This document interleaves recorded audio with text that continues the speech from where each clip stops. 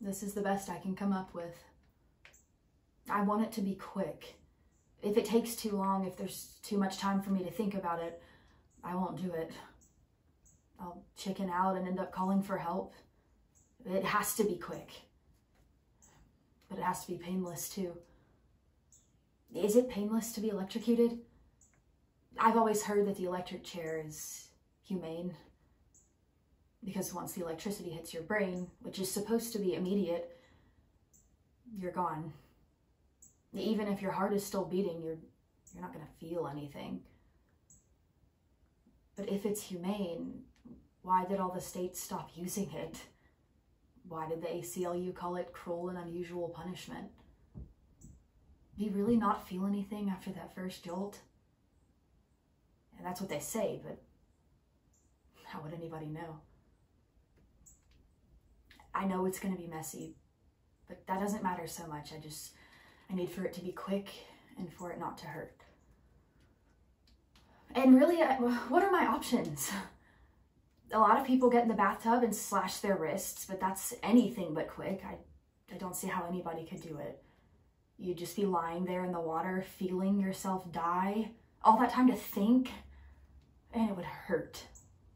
Cutting yourself with a razor would hurt the only alternative would be to swallow a mouthful of sleeping pills beforehand. But then if you're going to swallow sleeping pills, then there's no need to slit your wrists or get in the bathtub. I thought about sleeping pills, but that wouldn't be quick. Even if you downed a whole bottle, it would still take a while to kill you. Anything you could take that would be faster, like rat poison, would hurt like hell like a fire burning inside your guts. There just aren't that many options if you get right down to it. I mean, I know I'm being picky. It has to be over quickly and it has to be painless. A bullet to the brain? Sure, but I don't have a gun. Then there's hanging. But there's the whole ordeal of getting up on a chair and the rope.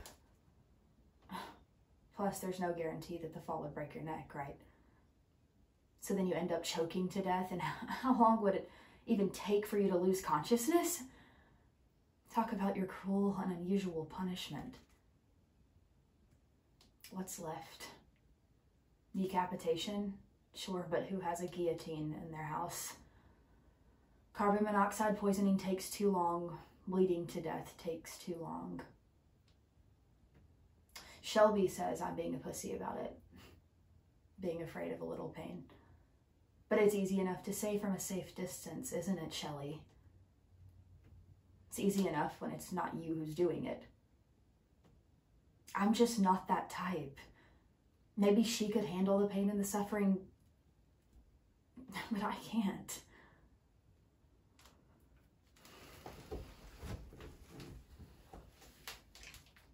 You know, I know I shouldn't be worried about the pain it causes him.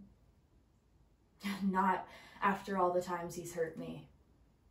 He deserves whatever happens to him, no matter how much it hurts. But I couldn't stand to see him suffer. This is somebody that I, I used to love.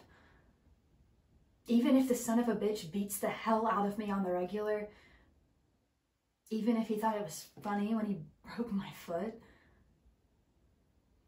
it's gonna have to be fast or I'll chicken out. I'll call for an ambulance to try to save his worthless life. I, I know I would.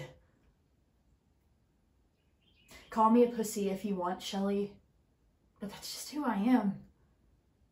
After everything he's done to me, I, it's just who I am. I'm still a decent person. This is gonna have to do. No looking back now. The die is cast, as Caesar said. No uncrossing the Rubicon with something like this. No second thoughts. No regrets. This'll do. Just climb in the tub, honey. I got it all ready for you.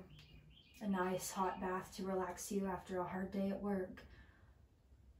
And what a shame that you didn't notice that the hair dryer was plugged in or how close it was to the tub. What a terrible accident. Hurry home, lover boy.